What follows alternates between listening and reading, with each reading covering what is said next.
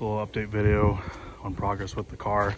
Since the last video, after the startup, I've gotten my tune from Brian at Fab9. Haven't been able to obviously drive the car yet. Sure the tune will be perfect. Been having some trouble getting the axles out so I can um, replace the differential.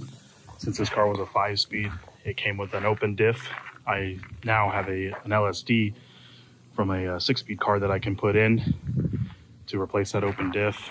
Um, so I've been having some trouble getting those uh, axles out, but I used this tool that I borrowed from AutoZone, and I got the axles out, or one axle at least, but you have to essentially take out the whole hub to get it out. So,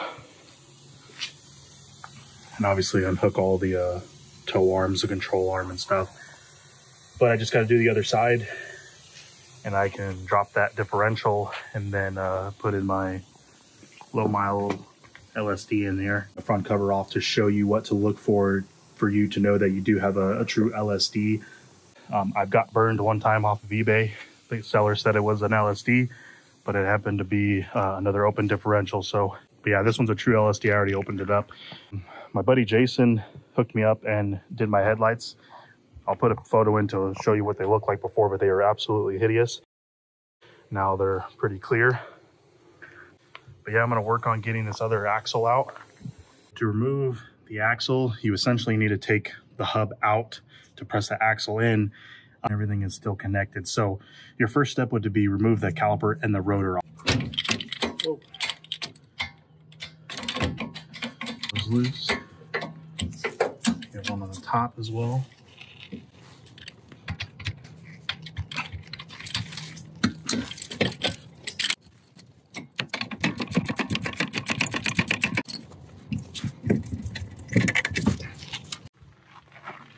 Now with the caliper and the rotor off, I just have it hanging so it's not putting a lot of strain on the uh, cable. Um, you're gonna wanna have your arms basically loose. So I have this bolt off or the nut and then this one nut so I can just break them off. And then I do need to get the toe one off right now.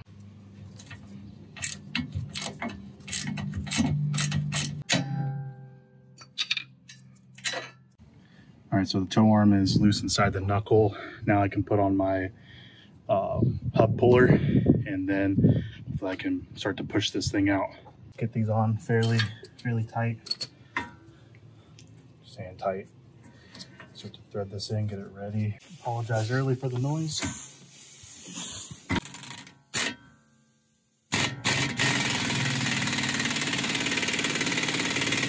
Okay, so I give it a couple more tries and it was, it's, it's pushing it through. So now the only thing that's keeping it from coming out is the uh, the arms.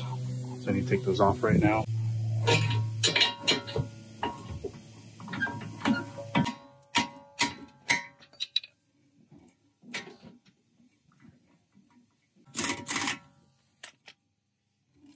Enough to where the axle is obviously free now. So I'll just pop it out of the diff and then all both axles will be out. So I'm just taking a big pry bar and gonna be popping out the axle. They have a retaining clip, so you have to give it some pressure.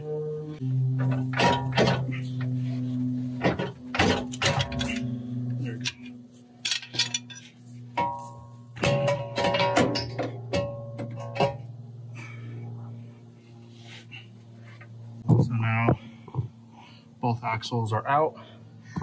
I put the power plant frame on um, just to hold up the the diff up. Um, I can remove the power plant frame now and then this uh, diff will be taken out.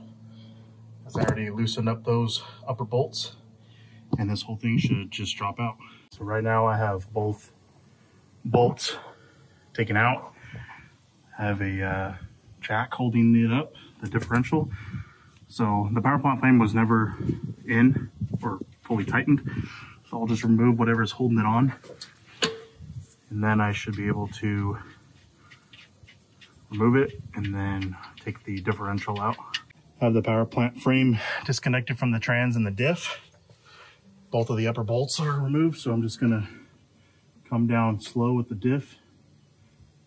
Okay, let's see what happens. It's probably gonna end up just falling, so I'll just get prepared for it. And it's coming down.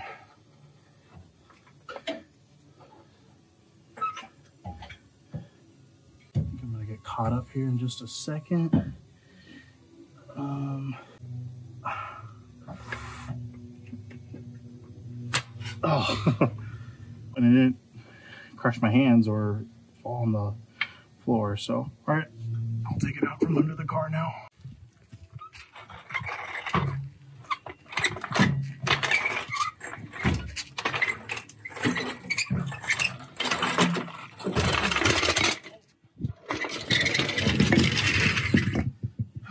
New diff in.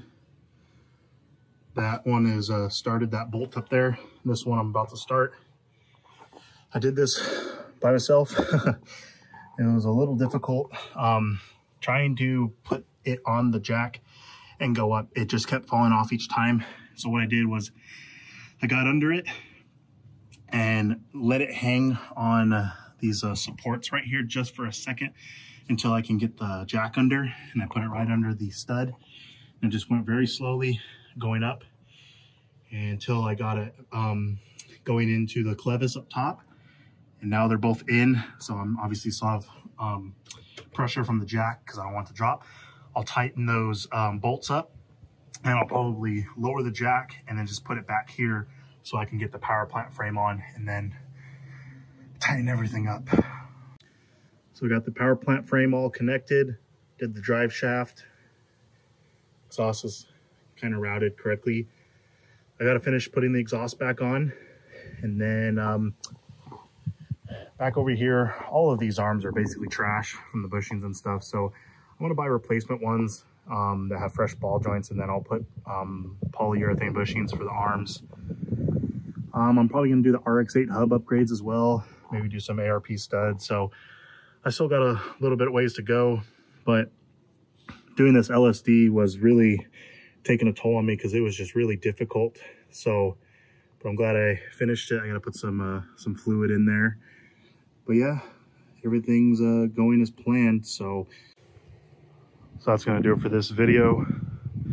Next video, hopefully I'll have it on the ground and then I can show you guys my new wheel and tire setup. Um, I did a sneak peek on my Instagram if you guys want to follow me. And I want to end the the video with a, a, new logo that my, my good buddy Sergio made me. It's really cool. I'm really digging it. So uh, let me know if you guys like the logo. All right, thanks for watching.